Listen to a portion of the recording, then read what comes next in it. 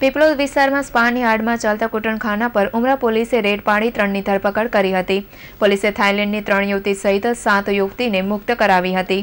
રવિવારે રાત્રે કંટ્રોલ રૂમને કોલ આવ્યો છે કે પીપલોદમાં સેન્ટ્રલ મોલ સામે એસએનએસ સિનર્જી બિલ્ડિંગમાં રેડ પલમાં સ્પાની આડમાં કુટણખાનું ચાલે છે.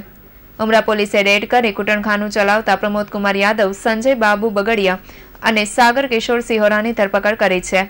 આરોપી પ્રમોદ કોટણખાનું ચલાવતો હતો, જ્યારે સંજય અને સાગર ગ્રાહક છે. પોલીસે તેમની પાસેથી ચાર ફોન રોકડા રૂપિયા સાત હજાર સાતસોની સહિતની મત્તા કબજે કરી હતી. સંચાલક પ્રમોદ કુટણખાનામાં આવતા ગ્રાહકો પાસે રૂપિયા બે હજાર લેતો હતો.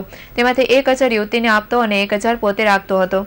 તે ફોન અને સોશિયલ મીડિયાના માધ્યમથી ગ્રાહકોનો સંપર્ક કરતો હતો. સ્પાની કુલ સાત યુવતી મળી હતી.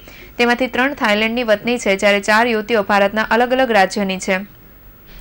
પોલીસે યુવતીનો જવાબ લખી તેમને જવા દીધી હતી. થાઇલેન્ડની યુવતીઓ ટુરિસ્ટ વિઝા પર આવી હતી. હાલ પોલીસે આ રેડમાં ઝડપાયેલા આરોપીને લઈ આગળની કાર્યવાહી શરૂ કરી છે.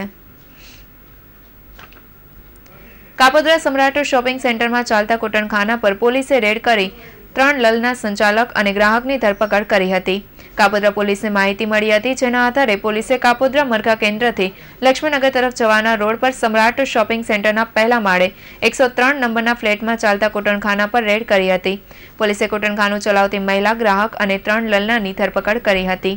જેમાં સંચાલક મહિલા રિંકલબેન નિર્મળા અને ગ્રાહક ભાવેશ ચૌધરીની ધરપકડ કરી હતી. જેમની પાસેથી બે મોબાઈલ અને રોકડ સહિતની મત્તા કબજે કરી હતી. જ્યારે ફ્લેટ માલિક સંજય કિકાણીને પોલીસે વોન્ટેડ જાહેર કર્યો હતો. હાલ પોલીસે આરોપીને સામે દેહ વ્યાપારના ગુનો નોંધી આગળની કાર્યવાહી શરૂ કરી છે.